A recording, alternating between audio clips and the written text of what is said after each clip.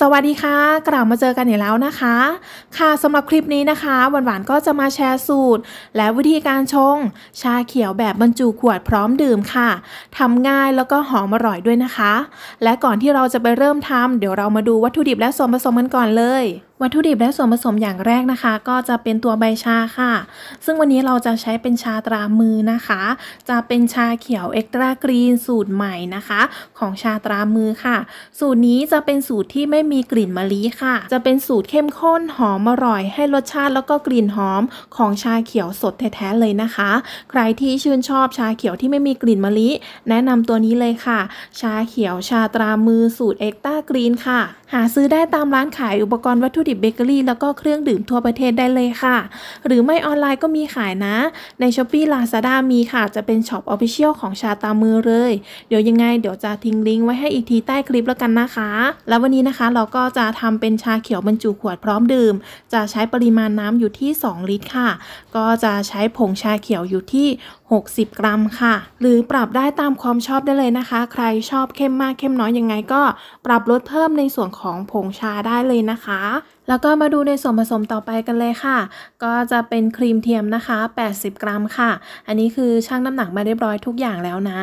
และต่อไปก็จะเป็นน้ำตาลทราย 80 กรัมค่ะ อันนี้ก็ชั่งน้ำหนักมาเรียบร้อยแล้ว ต่อไปก็จะเป็นนมข้นจืดค่ะ นมข้นจืดจะใช้อยู่ที่ 300 กรัมนะคะ หรือประมาณ 300 ml ค่ะ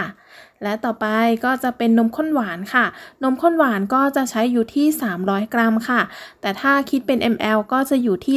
250 ml นะคะ และที่ขาดไม่ได้ก็จะเป็นน้ำเปล่าค่ะ จะเป็นน้ำสะอาดนะคะ อยู่ที่ 2 ลิตรค่ะ วันนี้เราทำสูตร 2 ลิตรนะ ใครจะทำน้อยกว่านี้จะเป็นสูตร 1 ลิตร หรือว่า 2 ลิตร 3 ลิตรนะคะ สามารถคูณหรือว่าหารสูตรที่เราให้วันนี้ได้เลยนะคะ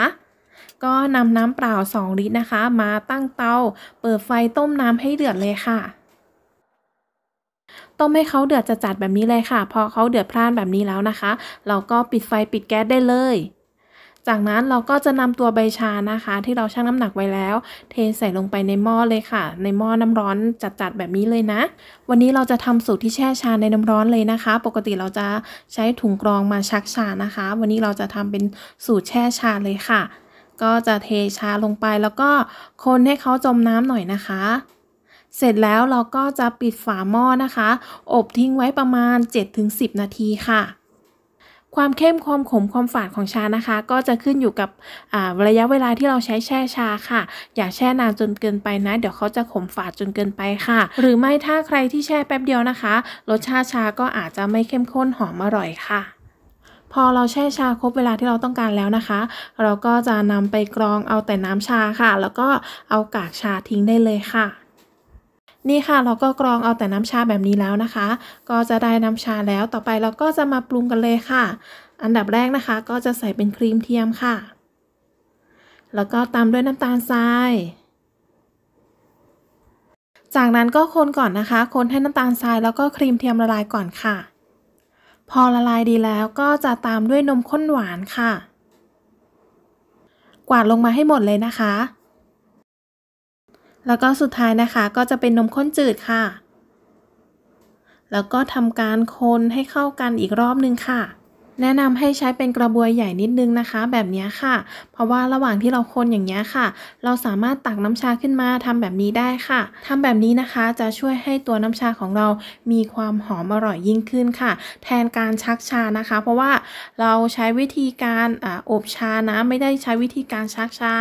เราก็เลยจะมาทำในส่วนนี้แทนนะคะ และพอทุกอย่างเข้ากันดีแล้วก็จะนำตัวน้ำชาเนี่ยค่ะ ไปน็อกน้ำแข็งนะคะ เพื่อที่จะให้น้ำชาของเรามีอุณหภูมิลดลงอย่างรวดเร็วค่ะ แล้วค่อยนำมากรอกใส่ขวดนะคะ เนี่ยค่ะ เราก็จะแช่น้ำแข็งไว้แบบนี้นะคะ ให้ตัวน้ำชาของเรามีความเย็นจัดเลยนะ เราค่อยนำมากรอกใส่ขวดค่ะ ข้อดีของการทำแบบนี้นะคะ ก็คือระยะเวลาในการเก็บรักษาจะเก็บรักษาได้นานขึ้นนะคะ แล้วก็พอเวลาเรากรอกใส่ขวดแช่ตู้เย็นนะคะ เขาก็จะไม่มีคราบไขมัน พวกนม พวกครีมเทียมนะคะ ที่เกาะบริเวณขอบขวดหรือว่าจะลอยอยู่ด้านบนน้ำชาของเรานะคะ และอีกอย่างนะคะ เราสามารถชิมรสชาติก่อนที่จะกรอกใส่ขวดได้ค่ะ เพราะว่าเราไม่แนะนำให้ชิมตอนร้อนๆนะ เพราะว่าเวลาเราชิมตอนร้อนๆเราจะไม่ได้รสชาติที่แท้จริงของตัวน้ำชาของเรานะเวพอเวลาเรานำไปแช่ตู้เย็น เขาจะมีความหวานความเข้มขึ้นนะคะ เพราะฉะนั้นเราชิมตอนที่เขามีอุณหภูมิที่เย็นตอนนี้จะได้รสชาติที่ใกล้เคียงกับอตอนที่เรากรอกใส่ขวดแล้วก็ไปแช่ตู้เย็นไว้นะคะ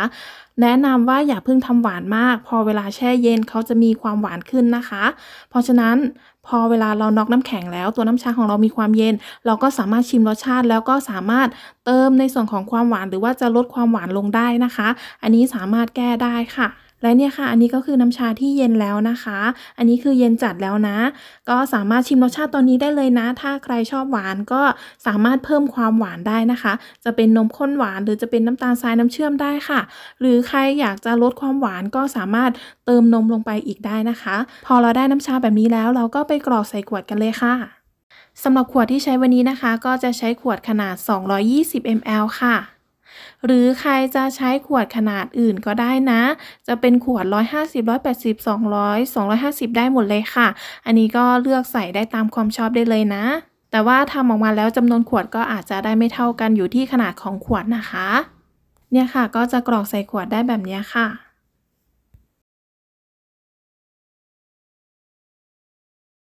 ร็จแล้วก็ปิดฝาให้แน่นเลยค่ะ ปิดลงไปเลยนะคะ แล้วก็หมุนให้แน่นเลยค่ะ หมุนให้เขาได้ยินเสียงแกรกเลยนะ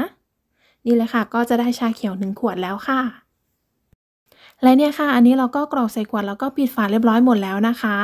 กรอกใส่ขวด 220 ml ได้ประมาณ 10 ขวดค่ะ แล้วก็จะเหลือน้ำชาอยู่ประมาณ 150 ml นะคะ ได้แบบนี้แล้วก็สามารถนำไปแช่ตู้เย็นไว้ได้เลยค่ะ สามารถเก็บได้ถึง 1 อาทิตย์เลยนะ หรืออาจจะมากกว่านั้นก็ได้ค่ะ ขึ้นอยู่กับอุณหภูมิที่เราใช้เก็บด้วยนะคะ เท่านี้เราก็จะได้ชาเขียวที่มีสีสวยน่ารับประทานแล้วค่ะ ซึ่งโดยส่วนตัวมองว่าสีของชาเขียวที่น่ารับประทาน ไม่จำเป็นต้องเข้มหรือว่าสดจนน่ากลัวจนเกินไปนะ เท่านี้กำลังดีเลยค่ะ สูตรนี้จะเป็นสูตรพร้อมดื่มนะคะ รสชาติหวานกำลังพอดีเลยค่ะ แต่ถ้าใครที่อยากจะ